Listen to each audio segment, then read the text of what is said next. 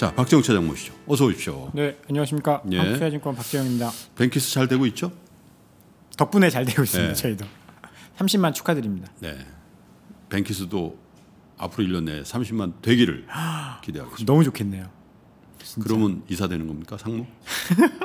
아, 그, 그 얘기 진짜 너무 하시면 안 되는 게 저희 네. 채널에 와서도 자꾸 여기서 하는 거는 그래도 괜찮은데 저희 채널은 저희 임원분들이 보실 수가 아, 있으니까. 그래. 아유, 조금, 그거 뭐. 네. 뭐. 네. 자, 자, 어떻게 됐습니까? 오늘 시장은 어, 분위기가 나쁘지 않았습니다. 예. 뭐 이게 한 주간으로 보면 코스닥이 뭐 이번 주는 거의 10%가 올랐으니까 예. 오늘도 장중에 조금 흔들림이 있었는데 예. 막판에 다시 오르면서 시장은 어, 코스피는 0.5 포인트. 보합이네요. 네. 물론 이제 장중에 19 포인트까지 올라가기도 했었는데 예. 또 한때는 마이너스 18 포인트까지도 아유, 떨어졌거든요. 요즘 변동성 장중 변동성도 크고 일간 변동성도 굉장히 큰 것 같아요. 그렇죠. 뭐 상승 하락을 왔다 갔다 했는데 그러니까요. 결국은 뭐 상승해서 마감을 했습니다. 막판에 좀 이제 낙폭을 예. 줄이면서 상승 마감을 했고요. 코스닥은 오늘 5포인트나 상승했습니다. 퍼센트로는 1% 가까이 예. 상승하면서 마감을 해서 코스피 대비해서 좀 많이 올랐는데 5포인트 나 그러니까 좀 그러네요. 일단은 뭐 최근에 이제 제가 주간 내용을 좀 정리를 해 드려 볼 텐데 이따가 예. 코스닥이 상대적으로 더 강한 그런 모습을 보이고 있습니다. 네. 수급은 역시 좋지 못했어요. 외국인은 2,880억 순 예. 매도했고요. 기관은 833억 순 매도했습니다. 예. 장중에 기관이 2천억 넘게 팔고 있다가 예. 막판에 800억대까지 줄이면서 예. 이제 지수가 상승을 했고요. 그렇군요. 코스닥은 역시 개인만 매수를 했습니다. 아, 외국인은 328억 순매도, 기관이 740억 순매도, 네. 개인만 1000억 이상 아, 매수를 했고요. 오늘 환율은 2원 60전 상승해서 1230원 90전에 마감을 했습니다. 그렇군요. 그 환율 상승세가 오늘은 뭐 2.6원이니까 그렇게 크지는 않습니다만 일련의 조치들 통화 수합도 했고 또 국채 갖고 가면 돈 빌려준다는 것도 다 됐는데 네. 그래도 환율이 빠지질 않네요. 뭐 많이 빠지진 않죠. 왜냐하면 어, 지금 상황 자체가 그렇게 좋은 상황이 아니고 지표가 예. 안 좋은데 원화가 뭐 초강세로 갈 수도 없는 거고 예. 달러가 하락을 하다가 다시 예. 상승 반전했습니다. 음. 뭐, 뭐 미국은 지표가 아, 뭐 지표가 좋다라기보다는 예. 이제 신용 리스크, 예. 뭐 에너지 기업들이 망하는 위험 이런 것들이 많이 줄었다라고 하면서 달러가 상승하고 있거든요. 예. 그런 부분들을 반영을 했다라고 한다면 음. 뭐 상대적으로 지금 원화가 그렇게 약세를 보이고 있다라고 볼 수도 없을 것 같습니다. 그렇군요. 네. 자 어쨌든 오늘은 그 모든 관심이 국제유가에 가 있었던 것 같아요. 네. 어제 워낙 크게 오르다 보니까 와 이게 국제유가만 한 30불 이상으로 회복되면 이번 위기도 좀 완화되는 거 아닌가 그런 기대가 분명히 있어요. 왜냐하면 어제 660만 뭐 실업자 청구건 수가 그 정도 됐는데도 국제유가를 보면서 미국장이 올랐잖아요. 네. 오늘 우리 시장에는 어떻게 영향 줬어요? 근데 사실 어제 이제 이제 그런 얘기를 했지 않습니까? 네. 워낙에 유가가 낮다 보니까 예, 1달러만 올라도 5%. 그렇죠. 지금 뭐 이제 25% 오르긴 했지만 네. 5달러 오른 거거든요. 5달러, 6달러. 예, 뭐 엄청 많이 오른 건 아니에요, 사실. 워낙 네.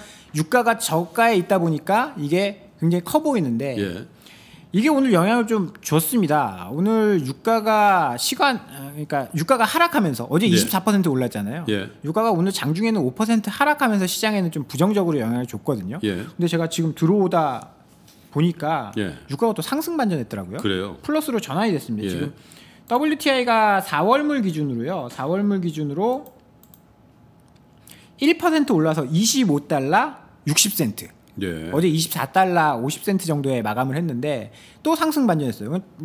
우리 장중에는 마이너스 한 5% 6% 정도였거든요. 예. 그러면 장중 저점 대비해서 한 7%나 그러네. 끌어. 지금 25.56달러. 네네. 그러니까 기준가 대비해서 0.95% 오르는 네. 걸로 나오네요. 네, 그래서 어, 일단은 지금 나스닥이나 S&P 선물은 지금 마이너스를 보이고 있긴 한데 네. 이게 유가 상승 방향 움직임에 따라서 또 이것도 달라질 음. 수 있다라고 봐야 될 것 같고요. 네. 오늘은 뭐 외국인 기관이 꽤 많이 매도를 했는데 네. 그걸 압도하는 개인 매수가 나오면서 시장을 또 어, 끌어올렸고요.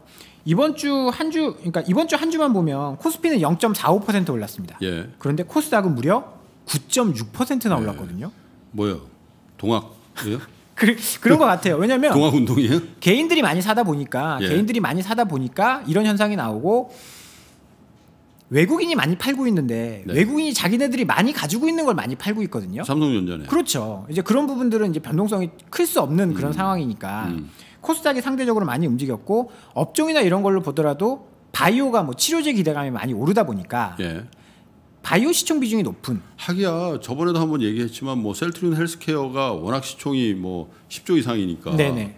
그거 상한가도 나왔고 네네. 그거 올라버리면 지수 영향이 엄청 나더군요 보니까. 그것도 있고 예. 뭐 시가총액 지금 4위로 떨어졌지만 뭐 시젠 같은 종목들 그리고 아, 어, 떨어져 4위예요? 아, 한, 한 단계 떨어졌습니다. 지금 어, 정말 미친 듯이 올라오는 종목이 하나 있거든요. 예.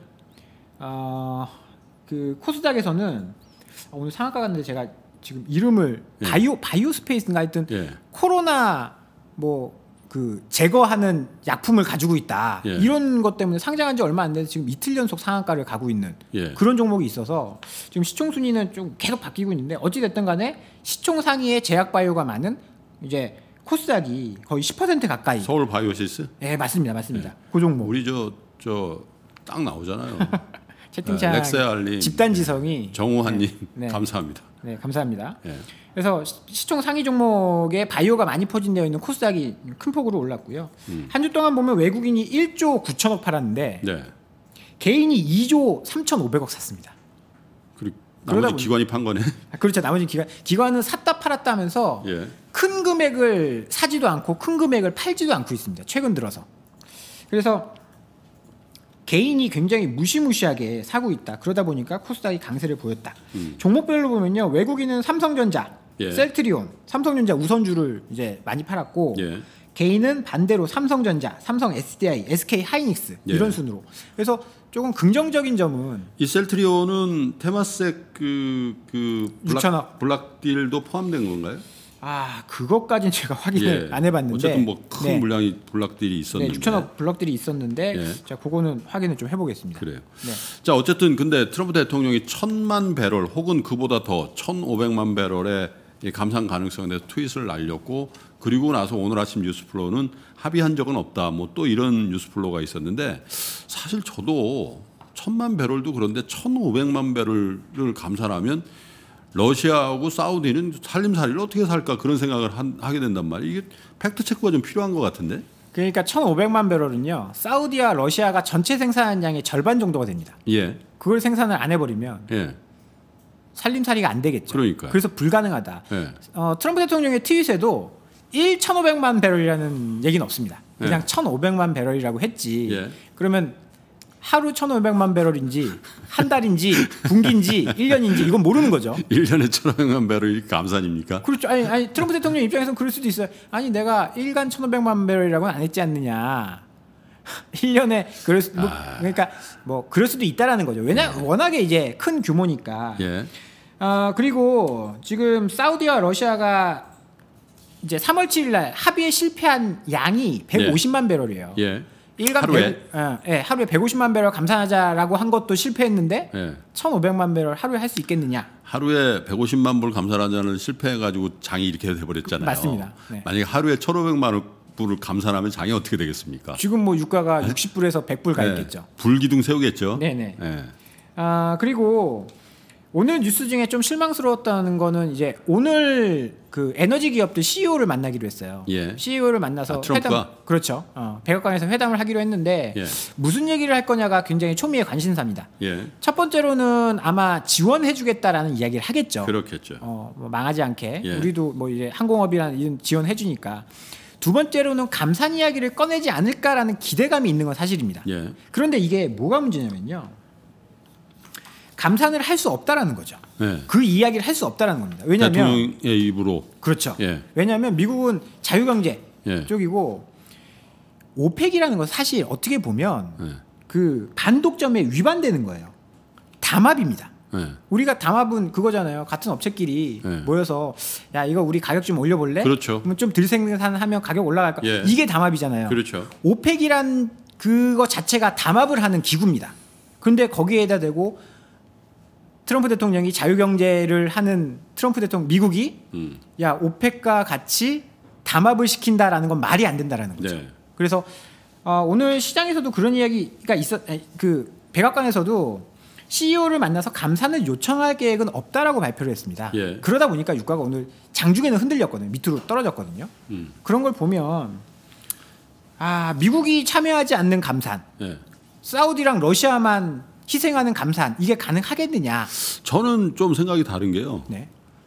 자, 러시아하고 사우디가 감산 합의를 해- 할 것이다라고 얘기하는 것도 국제적인 담합을 이끌어냈다고 자기가 자화자찬하는 거잖아요. 그러면 에너지 기업들 초대해서 밥을 주든 차를 주든 뭐 뭘 주든 간에 그 부르는 행위 자체가 뭔가 시그널을 주는 거고 말로 예를 들면 감산합시다 이렇게 얘기 안 해도 될 뿐더러 알아서 기어라. 저는 트럼프 대통령의 지금 지금 상태라면 예?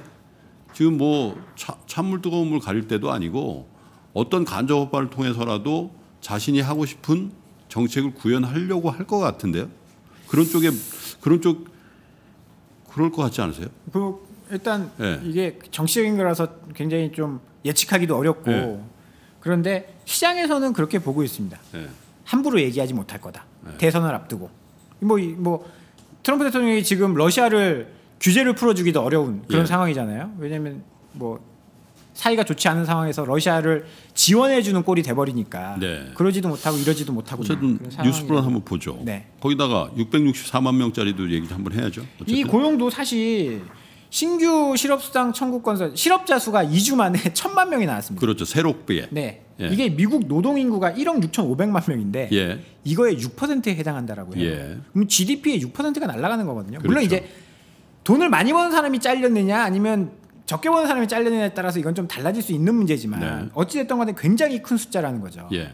이게 근데 다음 주에는 더 줄어들 거냐? 그렇지 않을 가능성이 높습니다. 네. 왜냐하면 코로나가 계속 확산되고 있기 때문에 그렇죠. 숫자는 더 늘 수가 있고요. 일투로 복귀 안 하면 더 늘 수도 있겠죠. 그렇습니다. 그리고 지금 걱정되는 거는 미국 정부에서 돈을 풀고 있어요. 그 실업자들한테 돈을 주지 않습니까? 예. 돈을 풀는 이유는 소비가 급감하는 것을 막기 위해서인데 그렇죠.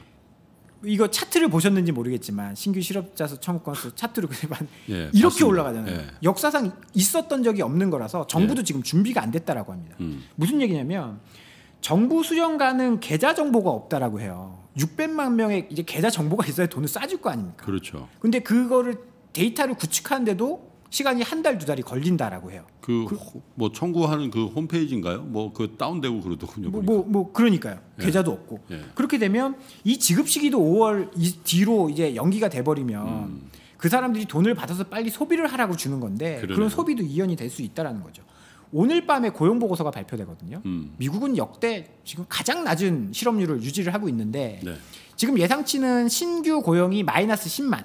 음. 블룸버그에서는 그렇게 예상을 하고 있는데 근데 저번 주에 실업 청, 실업수당 청구 건수가 300만 나오기 전에 예상치 150만이었거든요. 네. 두 배가 나왔고 그렇죠. 이번에도 또 두 배가 나왔는데 아, 실업률이 어떻게 나올지가 굉장히 중요해졌습니다. 밤. 이제 통계를 전망하는 뭐 어떤 지표를 전망하는 기관이나 사람들의 상상력의 한계를 벗어나는 지표들이 나와 버리니까 그거를 쫓아가기가 참 힘든 상황인 것 같아요. 네. 미국의 실업자 한 주에 실업자가 예 660만 명이 생길 거를 상상한 사람이 누가 있겠어요? 아무도 없었겠죠. 예. 그래서 어떤 일이 벌어질지 또 미국 내 코로나의 확진세 그리고 예, 사망자 수의 증가세도 과연 어디 범위까지 갈지에 대해서 우리가 조금 열어놓고 봐야 될 것 같다. 왜냐하면 모든 것들이 우리의 상상력의 한계를 벗어나는 숫자들이 나오기 때문에 이제 그럴 거 아닌가 이런 생각을 하게 되네요. 주말에 무슨 계획이 있으세요? 저는 사람들 피해서 산속으로 캠핑을 갈까 준비하고 있거든요. 예. 근데 지금 근데 캠핑장이 지금 만석이랍니다. 어, 저 많대요. 굉장히 조용한 음, 데를 알고 있어서 예. 갈까 하는데 지금 또 와이프가 또 아프다네요. 어떻게 될지 모르겠어요.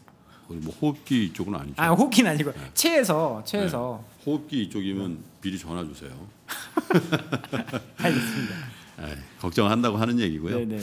자, 박정희 사장님도 어, 한주 동안 고생 많으셨는데 네. 에, 토요일, 일요일은 또 오늘 저녁까지 포함해서 2박 3일 동안은 굉장히 즐거운 시간 가족과 보내시고요. 건강한 모습으로 월요일 저녁 시간에 다시 뵙겠습니다. 한 주 동안 고생하셨습니다. 감사합니다. 예, 잠시 후에 여러분 다시 뵙겠습니다.